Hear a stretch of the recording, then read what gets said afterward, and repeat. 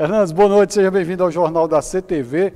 Vamos comentar aqui agora, né? A gente há pouco fez uma, é, a gente expôs uma matéria aí, né, já falando sobre as artes, né? E a Mel, o Mel Siqueira, ela falou muito bem aí das artes, da arte, como é a arte na sua vida, né? Como também aí a desvalorização da arte aí nos dias de hoje, né? Boa noite, bem-vindo.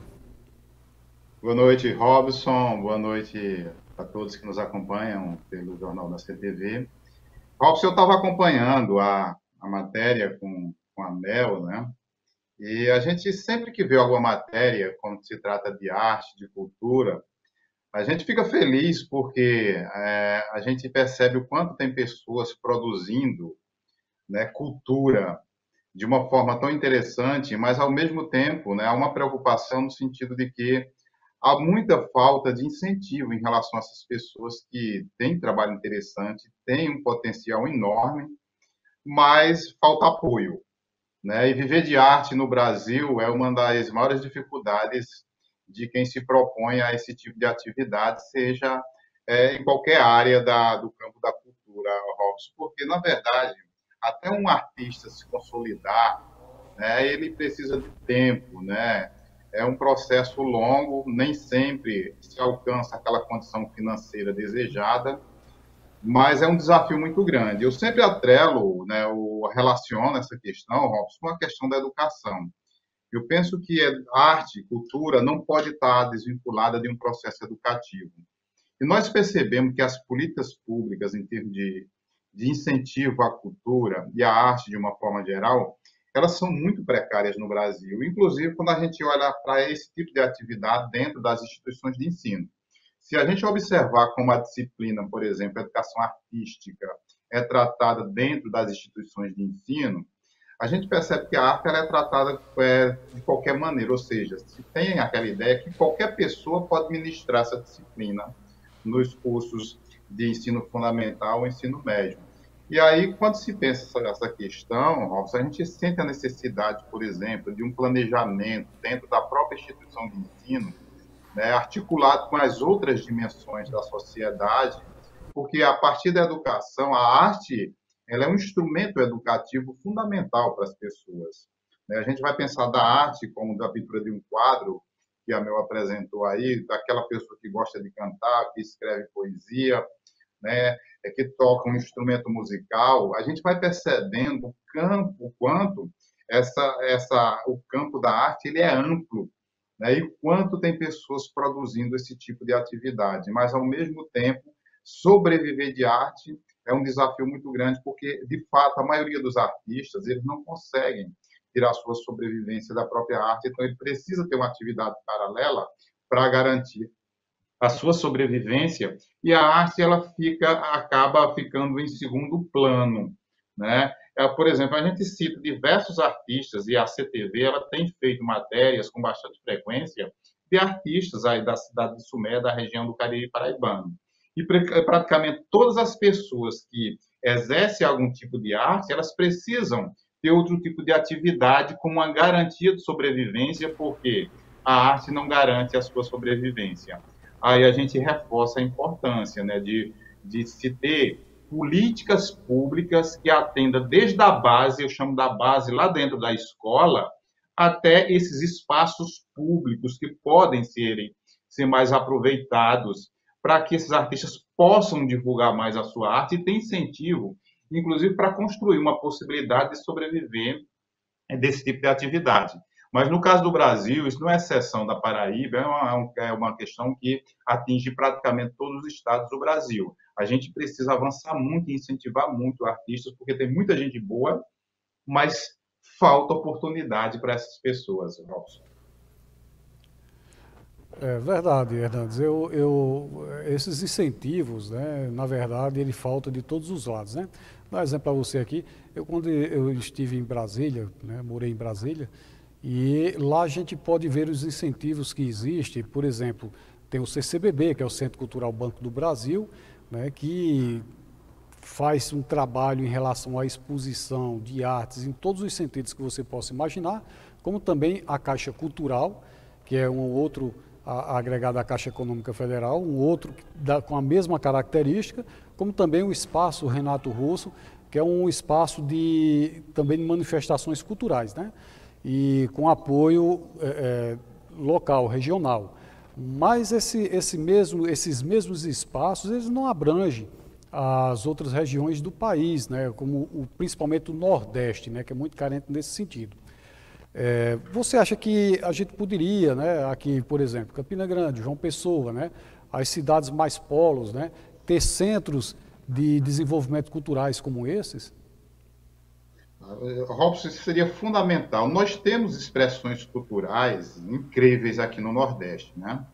É, você citou aí Campina Grande, eu cito, por exemplo, aqui no Pernambuco, é, Recife tem uma experiência cultural muito interessante. Inclusive, a Caixa Cultural também existe aqui em Recife, é, é Robson. Eu, eu, vejo a capital do Pernambuco hoje como uma das mais importantes nesse processo de, de, de trabalhar a cultura, né? Aqui a nível de Nordeste. Mas nós temos outras realidades, por exemplo, eu cito Campina Grande. Campina Grande ela tem um potencial cultural enorme, né? Tem algumas atividades culturais que são, são muito, muito interessantes, né? E é, é, o, que, o que eu sinto mais falta, Robson, é nessas cidades, essas pequenas cidades do interior.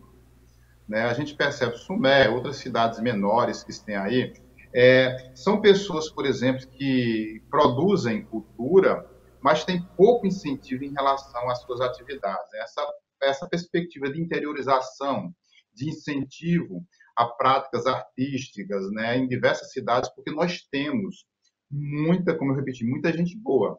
E muitas vezes essas pessoas elas ficam ali escondidas, no anonimato, e não têm oportunidade de mostrar o seu trabalho. Então, esses centros culturais, eu acho que eventos né, que dessem oportunidade a essas pessoas de apresentar né, a sua arte, né, com exposições ou com apresentações artísticas. A gente estende aí a questão do teatro, da música, da pintura. Né? É uma diversidade enorme que a gente encontra esse tipo de atividade em qualquer cidade do interior que a gente visita. A questão é que essas pessoas, né, eu digo, elas costumam, elas ficam ali na, na no anonimato, porque não tem oportunidade. E aí, Robson, eu acho que é essencial que a gente comece a pensar mais sobre isso, essa relação ou parceria do poder público com empresas, né? a iniciativa privada dialogando com, com o poder público, né? numa perspectiva de elaborar implementar políticas públicas né? que possam incentivar né? e dar oportunidade de, de, de, de visibilidade a essas pessoas que estão é, produzindo cultura. Então, se não cria né, uma alternativa, um instrumento que possa que, que, possibilite justamente tirar essas pessoas de uma condição de anonimato e apresentar a, a, aquilo que elas produzem, a gente vai continuar vendo a arte como uma questão muito periférica, muito marginalizada, sem que dê oportunidade àquelas pessoas que têm talento para desenvolver. Né? Então, a gente precisa avançar muito nesse sentido. Eu sempre faço esse discurso de dizer, olha, isso precisa começar na escola, lá na base. E essa escola ela precisa se estender, esse tipo de atividade precisa se estender para a sociedade. E como é que a gente faz isso na sociedade? Trazendo esses exemplos que você trouxe. A gente precisa de precisa criar espaços onde as pessoas possam divulgar as suas práticas culturais, como a caixa cultural ou um espaço público, onde você é, abra uma possibilidade de democratizar esse tipo de atividade. Porque as pessoas têm acesso de forma mais direta a tudo que a mídia produz, aquilo que a gente chama de da cultura midiática.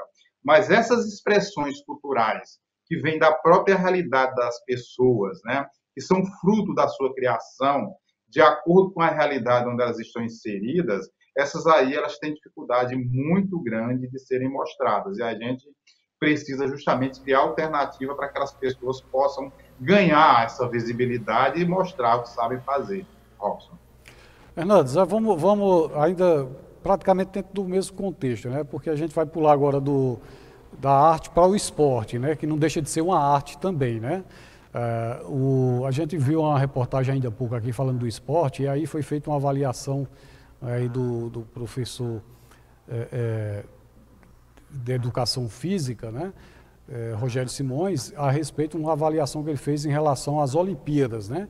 E na verdade aí as Olimpíadas ela mostra aí vários outros tipos, né, de, de, de atividades esportivas, né, como judô, como karatê, enfim, uma infinidade muito grande. É, eu lembro bem, a gente, sim, aí também a gente fala da questão de incentivos, né? Da mesma forma que é a arte, né? Mas eu lembro muito bem aqui, Hernandes, só para a gente enfatizar mais esse, esse, esse ponto, que quando eu fazia, fiz né, o ensino é, fundamental quinta, na minha época, né, quinta, sexta, sétima série, é, no colégio que eu estudava, né, tinha, aliás, em Campina Grande, todos os colégios tinham isso, né, vários tipos de modalidades esportivas. Tinha judô, tinha handebol, basquetebol, futebol de salão, futebol de campo, né, e outros esportes, né, até mesmo xadrez, dama, né, é, ping-pong, né, o tênis de mesa, né, na minha época chamava ping-pong mesmo. Então, ou seja, as próprias escolas, elas tinham dentro do seu da, do currículo de educação física, essas atividades que descobri aí é, potenciais, né? E eu tenho amigos até de época de escola que se projetou no basquete nacional, né? Através de, do, do colégio estadual que eu estudava, né? Ganhou até bolsa para estudar em escolas particulares. É, então, assim, não falta, além dos incentivos, né? Que as escolas elas voltem, né? A manter essas modalidades dentro da educação também no, no, no, na, nas escolas. em Campina Grande nós tínhamos aí as Olimpíadas Escolares, que envolvia todas as escolas uma vez por ano nessas modalidades esportivas, como é a Olimpíada que a gente viu, né? a gente isso de forma local. É, Robson, você traz outro ponto, que eu, eu, eu, ia justamente mencionar isso que você trouxe agora, né? porque eu concordo plenamente com a sua fala, é, que eu acho que são três setores que a gente não pode desvincular um do outro: educação, cultura e esporte. Eu não consigo conceber a prática desse tipo de atividade, dessas três atividades, fora é, de um eixo. Né? Eu entendo que são atividades que se complementam. E uma das características que nós temos no Brasil, né, e aí tratando especificamente do esporte, né, é esse, essa Olimpíadas foi a, a, aquela onde o Brasil teve o melhor desempenho, se eu não me engano, só foram 21 medalhas, né? Mas se a gente percebe, Robson, né, é 21 medalhas para a realidade, para as condições é, em que se trabalha o esporte no Brasil, é um quantitativo muito significativo. E aqui, tradicionalmente, nós temos o futebol, né, como aquele esporte onde praticamente toda criança é, quer praticar. E o esporte, aliás, e o futebol, ele passou a ser um instrumento de esperança de ascensão social das famílias mais carentes no Brasil. É o pai que tem um filho que mora na periferia, que de repente ele consegue perceber que tem umas habilidades interessantes para o futebol, então se deposita toda a esperança né, naquela criança de desenvolver aquele tipo de esporte que é, teria condições de tirar a família daquelas condições financeiras difíceis. Né? Então, e aí, o que se prega em relação a isso? Quando se pratica um esporte, não precisa estudar.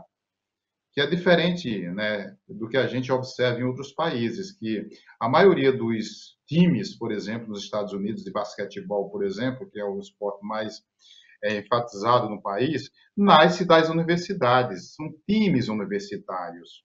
Né? Você é, é, valoriza a educação e dentro das instituições de ensino, você cria condições e incentivo de se desenvolver determinadas habilidades esportivas. É contrário ao que acontece no Brasil. Nós temos uma limitação muito grande. Eu, eu acompanhei também a fala do professor é, Rogério, quando ele falou, falou, por exemplo, do, do, do boxe. Né? Todos praticamente vieram de programas sociais, ou seja, aquela tem um programa social ali na área de periferia, né, que atendia crianças carentes, essas pessoas foram para lá, é, desenvolver determinadas habilidades e chegaram a ser medalhistas olímpicos. E se a gente olhar para isso, é, Robson, para essa realidade, quantos medalhistas talvez não tenham se perdido é, durante esse percurso, em diversas modalidades? Porque inúmeras outras modalidades que participam das Olimpíadas, no Brasil praticamente não tem nenhuma visibilidade. Né? Você tem modalidades que mal as pessoas conhecem, é, é, sobre aquele esporte aqui. No entanto, eles classificam atletas para estarem participando de uma Olimpíadas. Você pegou, se o exemplo do, do, do, do boxe, para mim, foi o maior exemplo de superação, porque todos vieram de programas sociais. Então, há uma dificuldade muito grande. Para a gente ter uma ideia, nós tivemos o Ministério da Educação extinto. Um país que não tem Ministério da Educação, aliás, da, do esporte na atualidade. Nós não temos o Ministério do Esporte. Então, a gente sente por aí já a carência nesse sentido. Né? Como é que se cria é, incentivo de se praticar diferentes modalidades esportivas quando a gente não tem uma base de políticas públicas que possam incentivar é, diferentes atividades esportivas. A gente costuma dizer o seguinte, né? É, não é que as pessoas não gostam de diferentes é, modalidades esportivas, é que elas não conhecem. É, qual é o estudante de escola pública que tem acesso a praticar uma aula de judô, é, às vezes o, o, o, o taekwondo, de karatê, é, hoje outras modalidades que entraram nas Olimpíadas, como o surf, o, o, o skate. Então, são poucas as crianças que têm acesso a esse tipo de atividade. Então, se eu não for apresentado, se eu não sou apresentado a uma determinada, um determinado tipo de esporte, eu provavelmente não vou criar muito incentivo, muita motivação para querer praticar aquela atividade. Né? Eu, para que a gente desenvolva interesse por determinadas atividades, a gente precisa conhecer, ter a oportunidade de ser apresentado, que infelizmente não é isso que tem acontecido, né? no caso do Brasil. Então, a gente precisa trabalhar muito, porque eu acho que a gente tem muito potencial, muita gente poderia desenvolver um potencial enorme em relação a, a diferentes práticas esportivas, mas isso só vai acontecer se a gente criar alternativas é, para que as pessoas se aproximem desse tipo de, de atividade e possam praticar. É, enquanto isso não acontece, a gente vai ter toda essa limitação. É claro que o potencial, por exemplo, de uma Olimpíadas, como o Rogério falou, pela população que a gente tem hoje, 210 milhões, e voltar apenas com é, é, 21 medalhas, é claro, se a gente comparar ao, a quantidade de habitantes de um país, a gente dizer muito pouco. Mas se a gente olhar para o tipo de incentivo que essas pessoas têm, é um quantitativo muito bom em termos de superação, porque há limitações, né? Em termos de, de, de, do poder público que não incentiva, em termos de patrocinadores, que a maioria desses atletas tem muita dificuldade de ter patrocínio, né? Muitas vezes são bancados pela própria família, por amigos, para, inclusive, participar de Olimpíadas. Então, é uma série de dificuldades que muitas vezes as pessoas participam porque têm muita vontade, mas não por condições né, de desenvolver aquela atividade. Né? É uma luta, muitas vezes. Atletas, por exemplo, treinam sozinhos, principalmente nessas Olimpíadas, no caso do Brasil. Nós tivemos atletas que ficaram no isolamento, treinando sozinhos. Né? E tiveram desempenho muito bom. Como foi o caso, por exemplo, do, do atleta do arremesso de peso ele treinou em casa, no espaço que tinha lá sozinho, e foi quarto lugar. Né? Não trouxe a medalha, mas é uma colocação muito significativa. Né? Assim como outros atletas que fazem um esforço pessoal muito grande para estar tá participando desses eventos. Mas a gente precisa é, de incentivo, de patrocínio, incentivo do poder público, incentivo também em termos de patrocínio para que as pessoas tenham condição de desenvolver é, melhor suas habilidades esportivas. Né? Então, conjunto de atividades que, se não acontece, a gente não vai conseguir evoluir nesse sentido. Muito bem, Hernandes. Quero agradecer a sua participação no nosso jornal da CTV de hoje. Amanhã às 7h30, café com comentário. Isso, amanhã às 7h30 com café com comentário. A gente está definindo ainda a pauta, Robson, mas agradecendo okay. também a todas as pessoas que nos acompanham às 7h30 da manhã, todos os dias. Uma boa noite a você e a todas as pessoas que nos acompanharam pelo Jornal da CTV. Não importa onde você quebrar. Procure a oficina mecânica do Flávio.